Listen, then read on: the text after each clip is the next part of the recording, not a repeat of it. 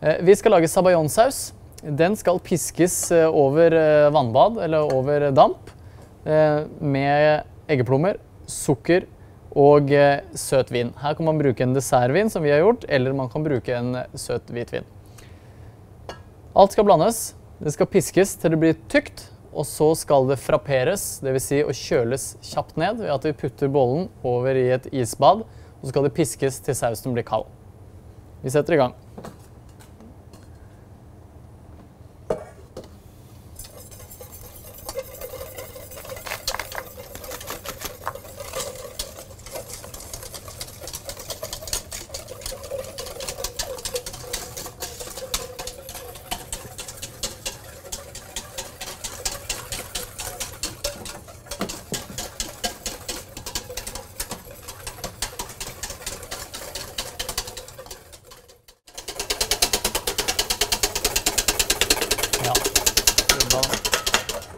Sånn, nå har eh, sabayonen blitt pisket i ca. fem minutter. Det krever litt arbeid for å gjøre dette her.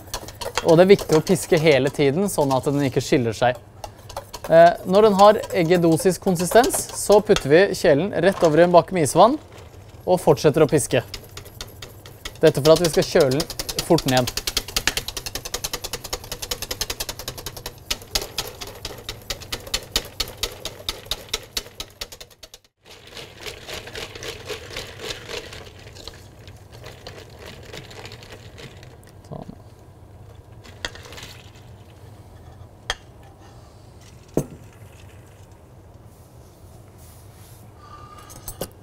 Nå ser dere konsistensen på saviansausen. Skikkelig tykk og fin. Eh, nå finnes det to måter man kan servere denne her på. Det spørs litt hva man skal bruke det til. Eh, bruker man det f.eks. til en fruktsalat, som kan være veldig vanlig, da pisker man krem og vender inn slik at den blir lett og luftig, og har det over fruktsalaten. Eller du kan, sånn som vi kan gjøre her nå, vise, eh, bruke det f.eks. på å gratinere, gratinere frukt. Har du eh, multer f.eks., veldig gode å gratinere med sabayon. Da tar man rett og slett bare rein sabayon, slik som dette her, over noen bær. For den er såpass tykk at den holder seg godt. Og så bruker vi en eh, slik en som dette her for å brenne den av. Slik at han blir sånn som det der. Det går ikke hvis du har krem inn, for da vil den falle sammen. Det var sabayonsaus. Så skal vi på vaniljesaus. Her krever det også litt eh, røring. Her begynner vi med å ha melk og eh, fløte.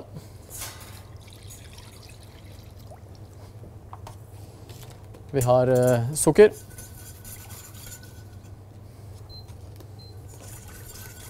Og vi har eh, vaniljestang, som er delt i to, og kjernen er tatt ut.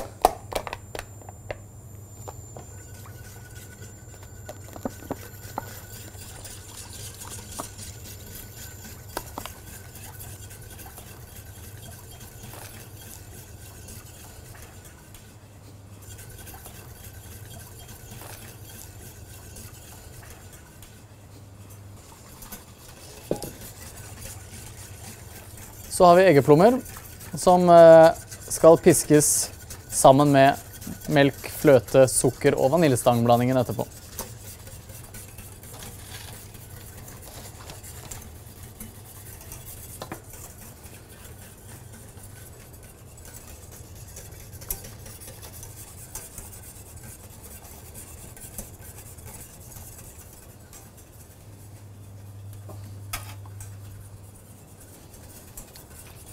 Mens Eirik står og pisker eh, fløta og melken her, så kan jeg piske lett sammen eggeplommene.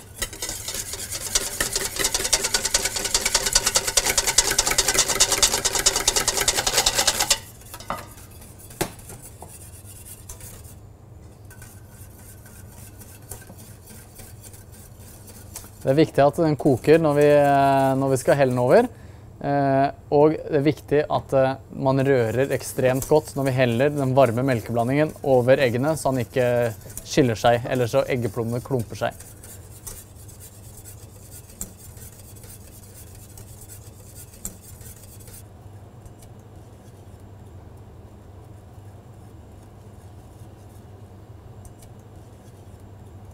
Nå begynner eh, melkeblandingen vår endelig å koke.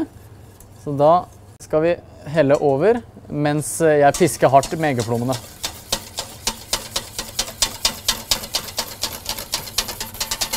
Yes. Må ta alt.